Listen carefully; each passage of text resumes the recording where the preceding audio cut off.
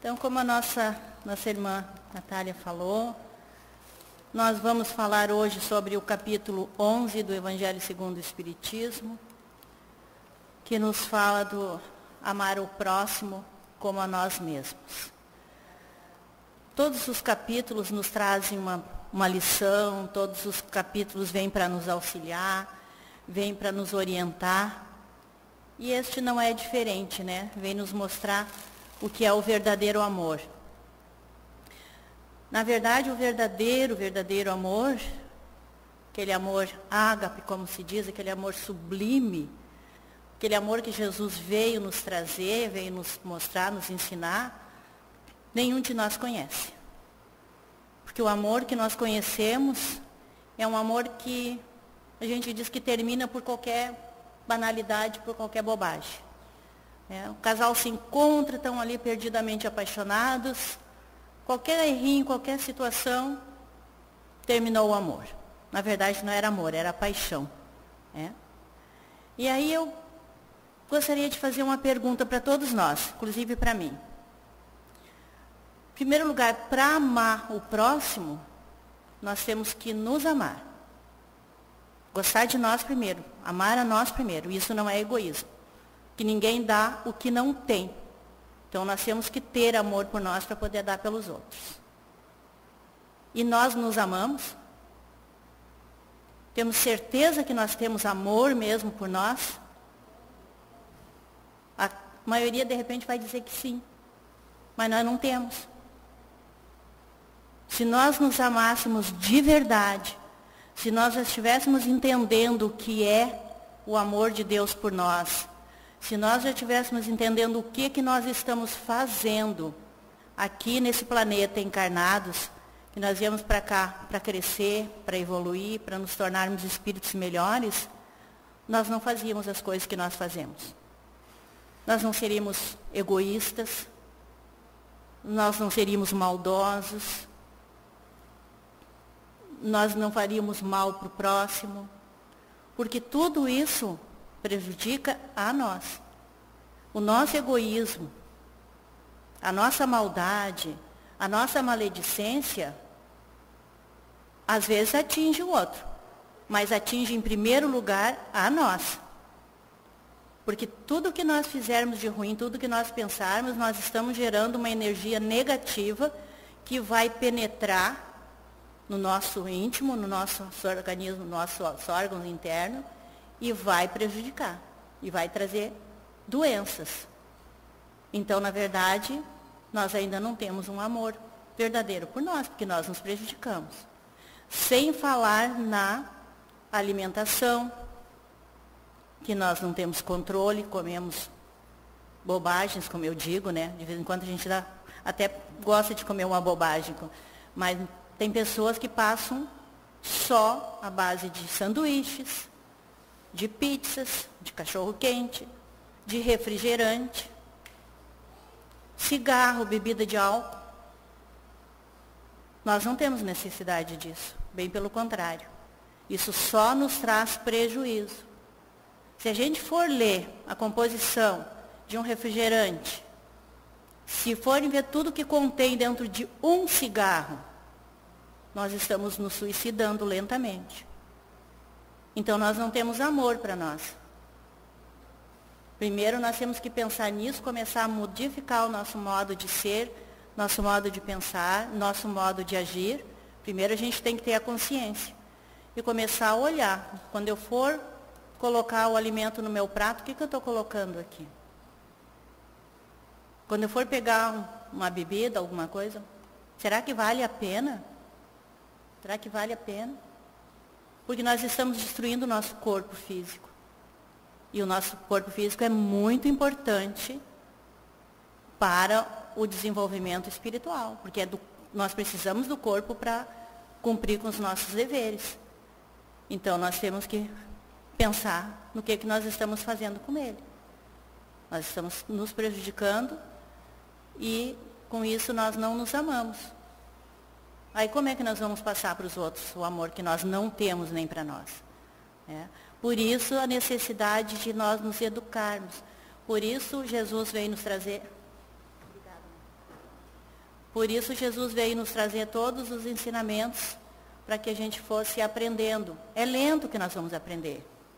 Nós, não é de um dia para outro que nós vamos modificar né, o nosso modo de ser. Não precisamos sair daqui hoje e parar com tudo que nós fazíamos. Então, tudo é lento porque o nosso organismo está acostumado de uma maneira e nós precisamos ir adaptando ele aos poucos.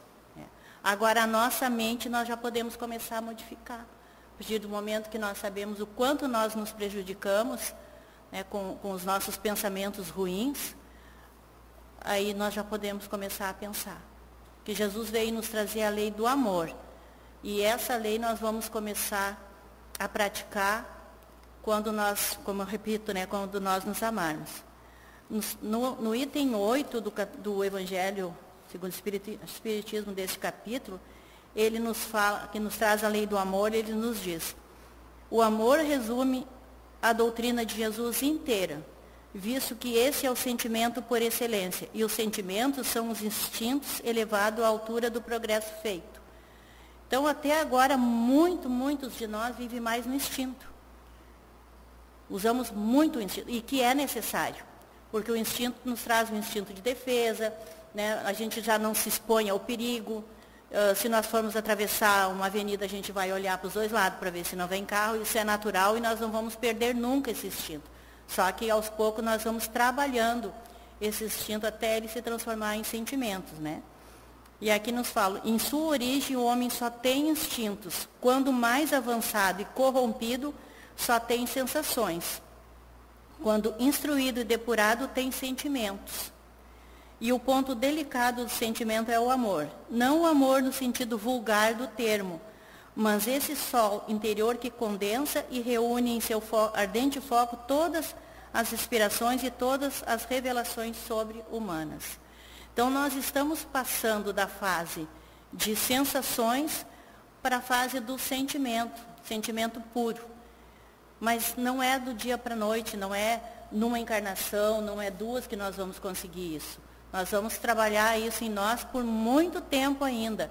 Porque até nós chegarmos ao nível de Jesus, a gente vai, vai passar por muitas e muitas encarnações, não temos a menor ideia de quantas.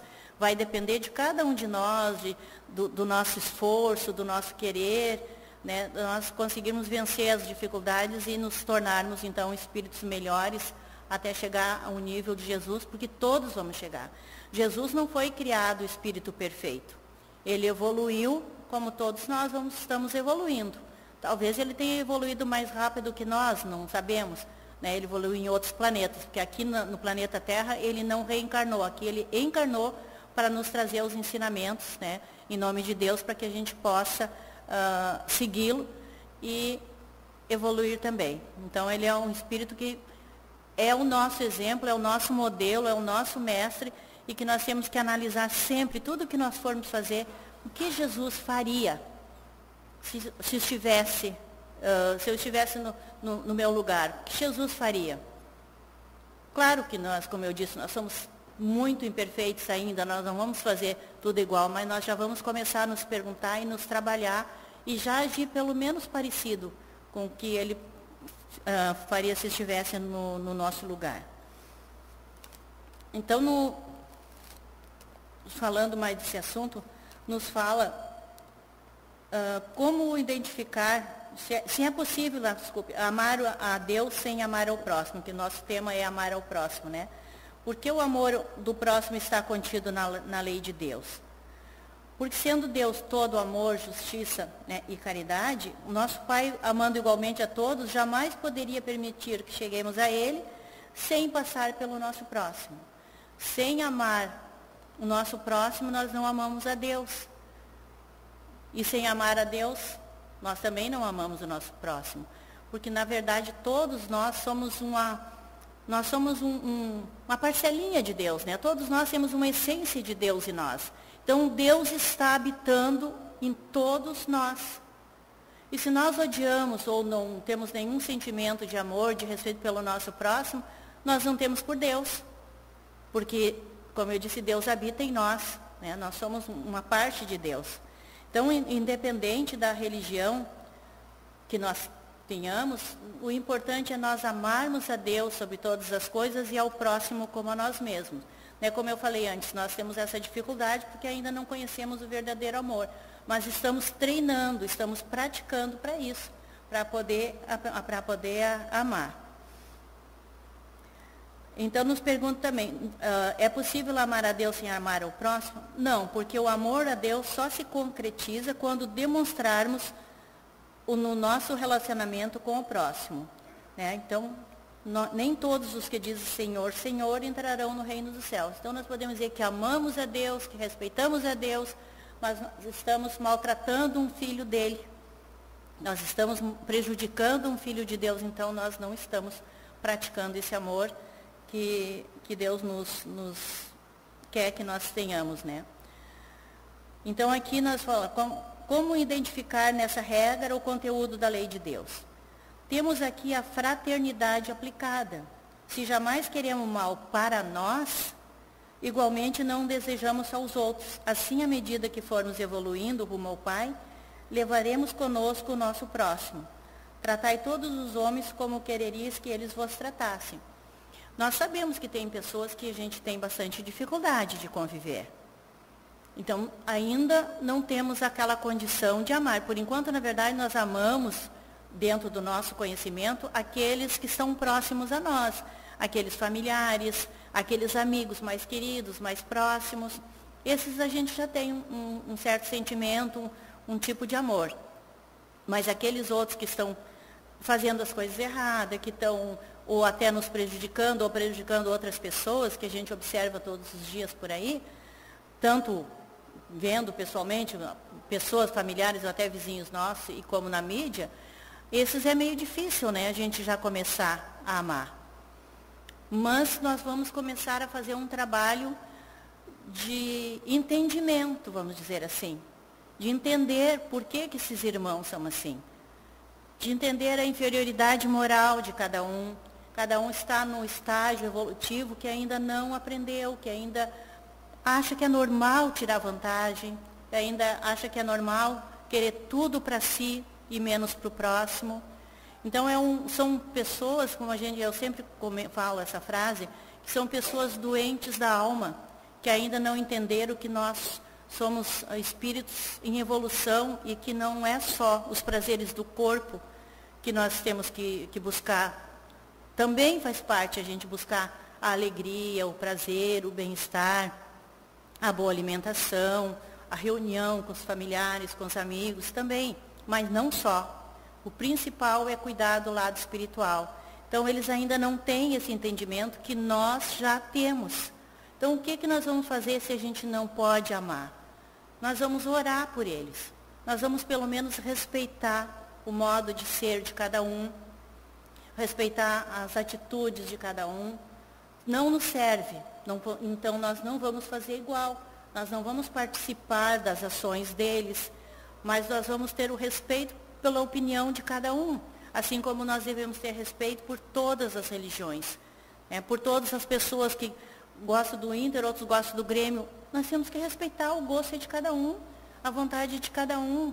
Né? Eu, a gente sempre tinha, desde criança, que eu escutava meus pais falarem, é que política, religião e futebol a gente não discute. Cada um tem a sua opinião e nós temos que ter o respeito por cada um. No momento que nós aprendermos a nos respeitar, a respeitar o nosso próximo, nós já vamos estar começando no caminho de amá-los também. Assim como nós queremos ser amados, né? Nós temos que dar para poder receber. Essa, esse amor, na verdade, não é que deva ser uma troca, mas é. A gente só, só recebe aquilo que a gente dá. É, e quando a gente aprende a, a, a, se doar, quando a gente aprende a ser grato por, por aquilo que a gente tem, a gente começa a receber coisas boas também. Semana passada eu, tava, eu estava dando uma olhadinha na, no Facebook, porque a gente não, não vive muito fora da, dessas realidades, né, do, do dia a dia, da, da, das redes sociais. E eu estava vendo a história de uma menininha e eu fiquei pensando, meu Deus, às vezes a gente pensa que tem que fazer grandes obras para nos tornarmos melhores, para agradar a Deus, para agradar o próximo. Né? E essa menininha, ela está com oito anos E ela nasceu com uma síndrome, que eu não recordo o nome, uma síndrome bem complicada que eu nunca escutei falar. Na hora eu não anotei, depois eu não consegui encontrar mais. É, que é, é, dá problema nos, nos, no rosto, nas mãos, nas pernas, e ela nasceu com as perninhas viradas ao contrário. O joelhinho dela era para trás. Né? Então ela era toda cheia de defeitos físicos. E até os oito anos de idade ela fez 70 engessamentos. Ela, com poucos dias de vida, já começaram a engessar o corpinho dela para eles uh, voltar ao normal, né, ficar bem. Aos oito anos ela já estava uma criança normal, brincando, correndo, fazendo tudo que uma criança faz. E o que que essa menina fez? Ela disse para a mãe, mãe, eu quero ajudar outras crianças iguais a mim mas eles eram de família pobre, né? Como é que eu vou fazer? Ela pediu para a mãe fazer um cartaz e toda manhã e toda tarde ela ia para uma esquina numa avenida próxima à casa dela com um cartaz pedindo doação para o hospital que tratou ela, que operou. Ela queria sim uma quantia que ajudasse. Ela recebeu mais de 400 milhões de dólares. As pessoas começaram a se sensibilizar, começaram a buscar informações, começaram a ir até o hospital verificar o, como é que era o atendimento e foram doando, grandes empresas foram doando, ela, recebe, ela arrecadou um dinheiro, uma quantidade imensa que foi doado para esse hospital, que deixou assim o, o, diretor assim numa felicidade e ele disse que tem uh, esse dinheiro vai, vai dar para tratar muitas crianças por muitos anos. E foi apenas um gesto de amor e de gratidão. Um gesto de amor e de gratidão que ela não tinha como fazer, mas aquilo despertou o sentimento de outras pessoas. É. E eu achei assim, uma coisa maravilhosa, às vezes uma coisa que a gente pode fazer, que é simples, mas que vai movimentar o, o, o amor que, que, nós temos em nós já, é, essa essência. Quando Deus nos criou, Ele colocou em nós essa essência do amor. Nós precisamos é desenvolver nós precisamos olhar para o próximo como um, um, irmão, como um ser filho de Deus, como uma pessoa querida, que de repente já foi nosso familiar numa outra encarnação, né? e que hoje não está, mas que está ali próximo, que a gente possa ajudar de alguma maneira. Tem muitas formas, é, é só a gente usar o nosso amor, despertar esse sentimento e fazer coisas maravilhosas como fez essa menina. Com oito anos eu fiquei pasma. Eu disse, gente, eu tenho Estou com 66 anos, eu nunca pensei numa coisa dessas. Ela com olha que espírito evoluído que está ali. Com toda certeza esse espírito recebeu essa missão. Já é um espírito mais adiantado, então ela teve essa noção. Nós como espíritos, né, eu principalmente como espírito atrasado que ainda sou, né, faço o mínimo que eu posso, mas graças a Deus já estou fazendo alguma coisa por alguém. Né, o que eu posso fazer eu faço. Mas claro que a gente não vai esperar fazer uma coisa né, linda igual essa, mas o, o pouquinho que nós fizermos pelo nosso irmão, nós já vamos estar demonstrando o amor que Deus espera de nós. Né? E dessa maneira nós estamos então evoluindo e nos aproximando de Deus. Né? Nós queremos, não é uma, uma, uma notícia assim que não é divulgada. Eu só vi porque entrou num espaçozinho lá no Face, eu, eu dei, busquei, me interessei, li, e eu não vi em lugar nenhum porque o bem não é divulgado. Né? O que é divulgado é o mal, o bem não é. Mas o bem existe. O bem existe, existe muitos corações bons, existe muitas pessoas boas que procuram ajudar e que ajudam mesmo, né? Então vamos continuar mais um pouquinho. Então, como eu já disse, né, na prática uh, em que consiste amar o próximo como a si mesmo, consiste em examinar a nossa própria consciência para saber como gostaria, gostaríamos de que procedesse conosco, em cada circunstância que nós passarmos, e saber se nós estamos aplicando esse sentimento ao nosso próximo. Como eu quero ser tratado? Quero ser tratado bem? Então eu vou tratar bem. A gente sabe, a gente conhece a lei de causa e efeito, né? tudo que vai e volta, tudo que nós plantamos nós vamos colher, e se nós plantarmos uh, né, vento, nós vamos colher tempestade, como se diz. Né? Se nós plantarmos flores, nós vamos colher as flores. Também nesse capítulo nos fala, né, quando, quando o, eles perguntam para Jesus, né, se é lícito pagar o, os impostos, né? Uh, porque eles tinham muita. Até hoje nós também, né? A gente paga, paga, paga imposto e a gente não gosta. A gente se revolta porque nós sabemos que é abuso. E naquela época era também pior ainda, né? Os romanos cobravam impostos uh, exorbitantes do povo pobre, né? E eles tinham revolta por isso. Então eles perguntaram para Jesus se era lícito pagar o imposto, né, a César. E Jesus respondeu a eles, né? Dai a César o que é de César e a Deus o que é de Deus. Então, o que, que a gente uh, deduz disso?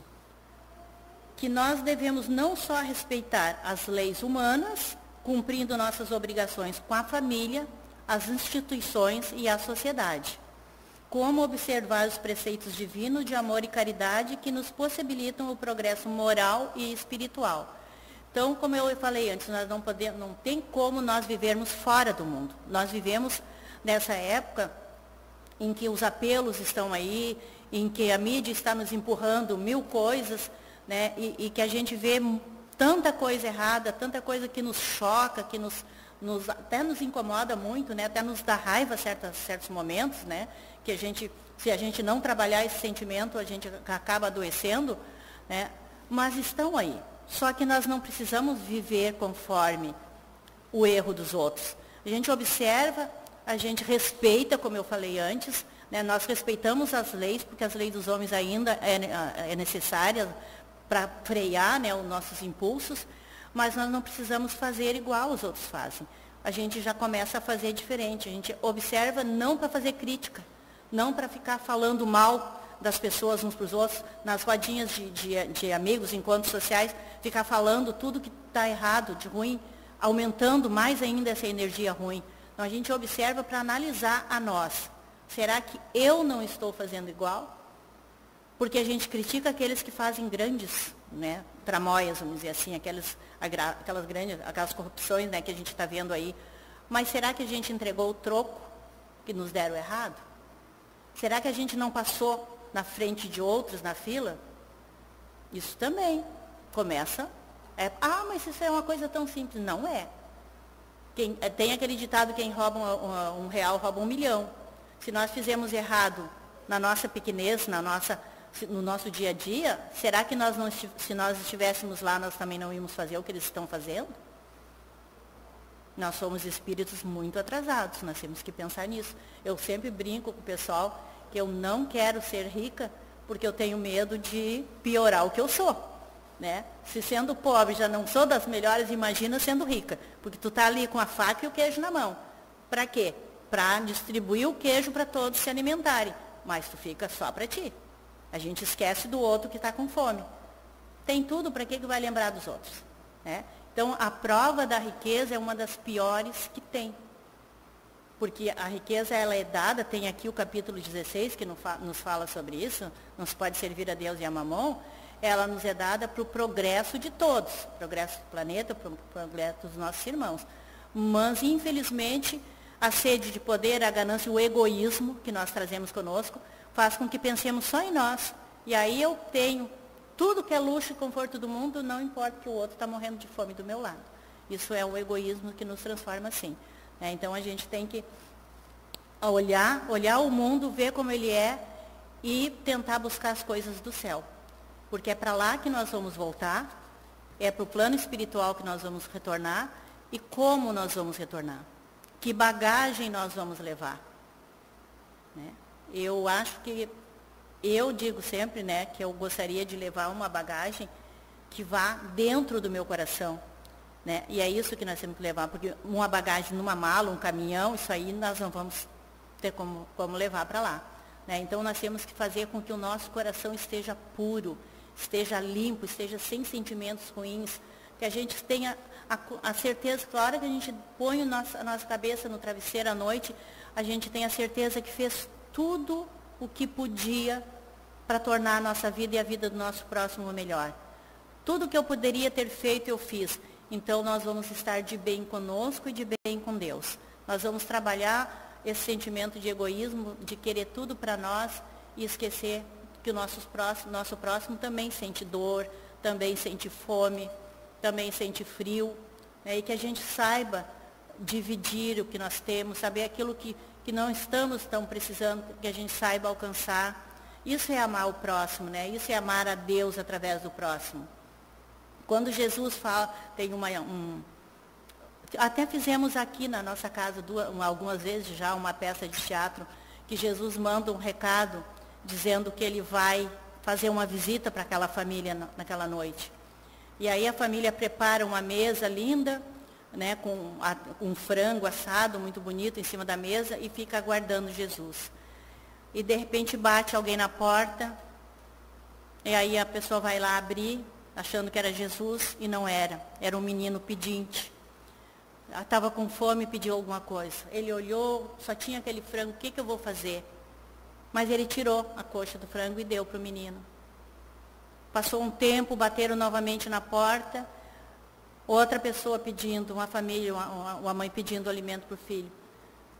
Ele não pensou duas vezes, tirou a outra coxa e alcançou.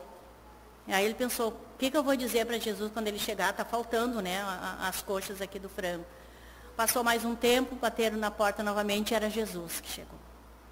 Aí eles ficaram muito felizes, né? Acomodaram Jesus e disse para ele, ah, ah, infelizmente eu tive que não está inteiro, né, o, o, frango, mas sente-se, fique à vontade, né, coma. Ele não, muito obrigado, eu já estou satisfeito com as duas coxas que eu recebi. Então é dessa forma que Jesus se apresenta para nós, em forma de um, irmão, em forma de uma necessidade de alguém, para ver se a gente tem o, o despertar, para ver se a gente está com o coração já trabalhando o sentimento. É, então, dessa maneira é que nós vamos nos aproximar do nosso Pai. É, que a gente pense nisso com carinho, que a gente trabalhe as antipatias que a gente tem um com os outros, e a gente tem, porque nós viemos de encarnações anteriores e nós tivemos inimizades. Então, aquela pessoa, às vezes, que está convivendo conosco ali, às vezes a gente não consegue simpatizar, não consegue gostar daquela pessoa, tem essa dificuldade.